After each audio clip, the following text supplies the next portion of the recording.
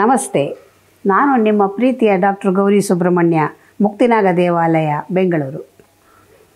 ಇವತ್ತು ಮೈಗ್ರೇನ್ ತಲೆನೋವಿಗೆ ಏನು ಉಪಶಮನ ಮಾಡಿಕೊಳ್ಬಹುದು ಅನ್ನೋದಕ್ಕೆ ಒಂದು ಉತ್ತಮವಾದಂತಹ ಒಂದು ಔಷಧಿ, ಆಹಾರ ಯಾವ ರೀತಿ ಬೇಕಾದ್ರೂ ತಗೊಳ್ಳಿ, ಅದನ್ನು ಮಾಡಿ ತೋರಿಸ್ತೀನಿ. ಉಪಯೋಗ ಮಾಡಿ ನೋಡಿ.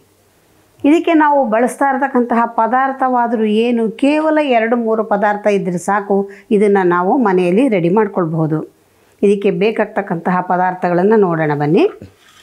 ತುಂಬ ಸರಳ.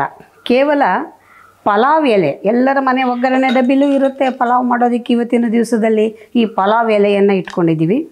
ಅರಿಶಿಣದ ಕೊಂಬನ್ನು ಸ್ವಲ್ಪ ಜಜ್ಜಿ ಇಟ್ಕೊಂಡಿರ್ತಕ್ಕಂಥದ್ದು. ಬೆಲ್ಲ, ಹಾಲು, ಇಷ್ಟೇ ಪದಾರ್ಥ.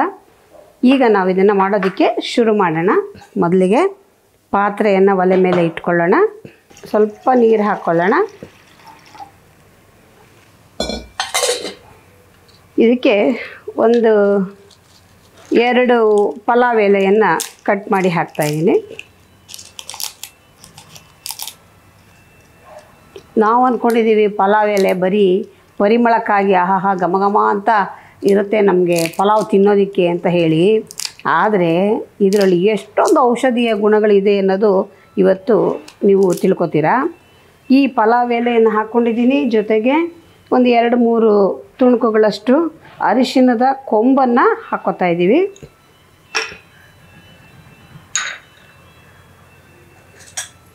ಸ್ವಲ್ಪ ಬೆಲ್ಲವನ್ನು ಕೂಡ ಹಾಕ್ಕೊಂಬಿಡೋಣ ಕರ್ಗೋಗುತ್ತೆ ಅಷ್ಟೊತ್ತಿಗೆ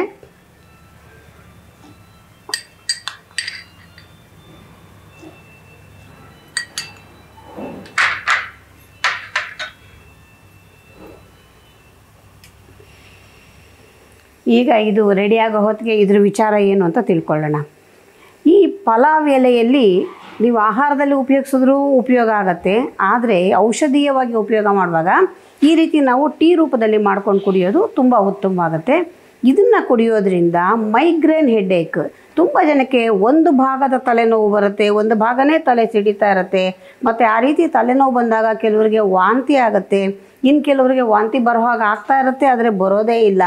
ಈ ರೀತಿ ಎಲ್ಲ ಸಮಸ್ಯೆಗಳಿರುತ್ತೆ. ಮತ್ತು ಕೆಲವರಿಗೆ ಬಿಸಿಲು ಏರ್ತಾ ಏರ್ತಾ ಏರ್ತಾ ತಲೆನೋವು ಜಾಸ್ತಿ ಆಗುತ್ತೆ. ಸಾಯಂಕಾಲ ಆಗ್ತಾ ಆಗ್ತಾ ಆಗ್ತಾ ತಲೆನೋವು ಕಡಿಮೆ ಆಗುತ್ತೆ. ಈ ರೀತಿ ನಾನಾ ರೀತಿಯ ತಲೆನೋವನ್ನು ನಿವಾರಣೆ ಮಾಡ್ಕೊಳ್ಳೋಕ್ಕೆ ಕೇವಲ ನಿಮ್ಮ ಮನೆಯ ಒಗ್ಗರಣೆ ಡಬ್ಬಿಲಿರ್ತಕ್ಕಂಥ ಎರಡು ಪಲಾವ್ ಎಲೆ ಸಾಕು. ನೋಡಿ ಎಷ್ಟು ಅದ್ಭುತ ನಮ್ಮ ಒಂದು ಪ್ರಕೃತಿ. ಇದು ಈ ಪಲಾವ್ ಎಲೆ ಅನ್ನೋದು ಯಾವುದು ಗೊತ್ತಾ ನಿಮಗೆ? ನಾವು ಮನೆಯಲ್ಲಿ ದಾಲ್ಚಿನ್ನಿ ಚಕ್ಕೆಯನ್ನು ಬಳಕೆ ಮಾಡ್ತೀವಲ್ವ? ಮನೆಯಲ್ಲಿ, ಎಲ್ಲರ ಮನೆಯಲ್ಲೂ ಕೂಡ ಈ ಚಕ್ಕೆಯನ್ನು ನಾವು ಸಾಂಬಾರು ಪದಾರ್ಥಗಳಲ್ಲಿ ಉಪಯೋಗ ಮಾಡ್ತೀವಿ. ಅದೇ ಮರದ ಎಲೆಗಳು ಈ ಪಲಾವ್ ಎಲೆ. ನೋಡಿ, ಈ ಮರದ ಎಲೆ, ತೊಗಟೆ, ಕಾಂಡ ಎಲ್ಲವೂ ಕೂಡ ಔಷಧೀಯ ಯುಕ್ತವಾಗಿರ್ತಕ್ಕಂಥದ್ದು ಹಾಗಾಗಿ ಈ ಪಲಾವ್ ಎಲೆಯನ್ನು ಬಳಕೆ ಮಾಡಿ ನಾವಿವತ್ತು ಮಾಡುವಂತಹ ಈ ಟೀ ಕುಡಿಯೋದ್ರಿಂದ ತಲೆನೋವಿಗೆ ರಾಮಬಾಣ ಅನ್ನೋದು ಗೊತ್ತಾಯಿತು. ಅಷ್ಟೇ ಅಲ್ಲ, ಇದರಲ್ಲಿ ವಿಟಮಿನ್ ಎ ಮತ್ತು ಸಿ ಕೂಡ ಅಧಿಕವಾಗಿದೆ. ಪೊಟ್ಯಾಷಿಯಮ್ ಇದೆ ಮೆಗ್ನೀಷಿಯಮ್ ಇದೆ, ಜಿಂಕ್ ಇದೆ, ಕ್ಯಾಲ್ಶಿಯಂ, ಕಬ್ಬಿಣ ಎಲ್ಲವೂ ಕೂಡ ಹೇರಳವಾಗಿರೋದ್ರಿಂದ ಇದೊಂದು ಪರಿಪೂರ್ಣವಾದ ಆಹಾರ ಅಂತ ಕೂಡ ನಾವು ಹೇಳಬಹುದಾಗಿದೆ. ಇನ್ನು ಈ ಹೆಣ್ಣು ಮಕ್ಕಳಲ್ಲಿ ಬರ್ತಕ್ಕಂತಹ ಮುಟ್ಟಿನ ಸಮಯದಲ್ಲಿ ಬರುವಂತಹ ಹೊಟ್ಟೆ ನೋವಿಗೆ, ಹೊಟ್ಟೆ ನೋವು ವಿಪರೀತವಾಗಿದೆ ಎಂದಾಗ ಏನು ಮಾಡಬೇಕಂದ್ರೆ ಒಂದು ನಾಲ್ಕು ಕಾಳು ಸೋಂಪು, ಒಂದೇ ಒಂದು ಪಲಾವ್ ಎಲೆಯನ್ನು ಹಾಕಿ ಇದೇ ರೀತಿ ಕುದಿಸಿ, ಶೋಧಿಸಿ, ಟೀ ಮಾಡ್ಕೊಂಡು ಕುಡೀರಿ. ಆ ಹೊಟ್ಟೆ ನೋವು ಓಡಿ ಹೋಗುತ್ತೆ. ಇನ್ನು ಈ ಪಲಾವ್ ಎಲೆಯನ್ನು ಕುಡಿಯೋದ್ರಿಂದ ಮಧುಮೇಹಿಗಳಿಗೆ ಅತ್ಯಂತ ಶ್ರೇಷ್ಠಕರವಾದದ್ದು. ಹಾಗಾಗಿ ಅವರು ಕೂಡ ಇದನ್ನು ಸೇವನೆಯನ್ನು ಮಾಡಬಹುದಾಗಿದೆ. ಇನ್ನು ಹಾಗಾದರೆ ಇದನ್ನು ನಾವು ಮೇಲಿಂದ ಮೇಲೆ ಸೇವನೆ ಮಾಡಬಹುದೇ? ಖಂಡಿತ ಮಾಡಬಹುದು. ಪ್ರತಿನಿತ್ಯವೂ ಕೂಡ ಸೇವನೆ ಮಾಡಬಹುದು. ಮಾಡೋದ್ರಿಂದ ಯಾರು ಸ್ಥೂಲಕಾಯರಿದ್ದರೆ ಕ್ರಮೇಣ ನಿಮ್ಮ ಸ್ಥೂಲತೆ ಕಡಿಮೆ ಆಗೋದಕ್ಕೆ ಸಾಧ್ಯವಾಗತ್ತೆ. ಇನ್ನು ಹೃದಯಕ್ಕೆ ಸಂಬಂಧಪಟ್ಟಂತಹ ಸಮಸ್ಯೆಗಳು, ಹೃದಯ ದೌರ್ಬಲ್ಯವಿರ್ತಕ್ಕಂಥದ್ದು, ಇಂತಹದಕ್ಕೆ ಕೂಡ ಈ ಪಲಾವ್ ಎಲೆಯನ್ನು ಸೇವನೆ ಮಾಡೋದರಿಂದ ಹೃದಯ ಬಲವಹಿತವಾಗೋದಕ್ಕೆ ಸಾಧ್ಯವಾಗುತ್ತೆ. ಮತ್ತೊಂದು ಹೇಳಲೇಬೇಕು, ನಮ್ಮ ಹೆಣ್ಮಕ್ಳಿಗೆ ಇಷ್ಟ ಆಗುವಂಥದ್ದು ಕೂದಲ ಬೆಳವಣಿಗೆಗೆ ಈ ಎಲೆ ಸಹಾಯವನ್ನು ಮಾಡುತ್ತೆ.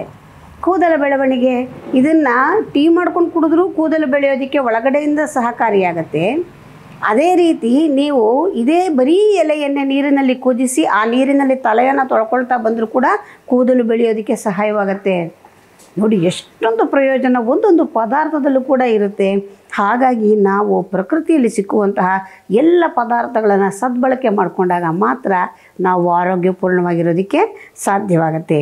ಈಗ ಈ ಟೀ ರೆಡಿಯಾಗಿದೆ. ಐದೇ ನಿಮಿಷದಲ್ಲಿ ಸಿದ್ಧವಾಗುವಂಥದ್ದು. ಈಗ ಇದನ್ನು ಶೋಧಿಸ್ಕೊಂಡ್ಬಿಡೋಣ. ಈಗಾಗಲೇ ನಾವು ಇದಕ್ಕೆಲ್ಲ ಹಾಕ್ಬಿಟ್ಟಿರೋದ್ರಿಂದ ಇದನ್ನು ಶೋಧಿಸ್ಕೊಳ್ಳೋದು ಸ್ವಲ್ಪ ಹಾಲನ್ನು ಬೆರೆಸಿ ಕುಡಿಯೋದು ಅಷ್ಟೇ.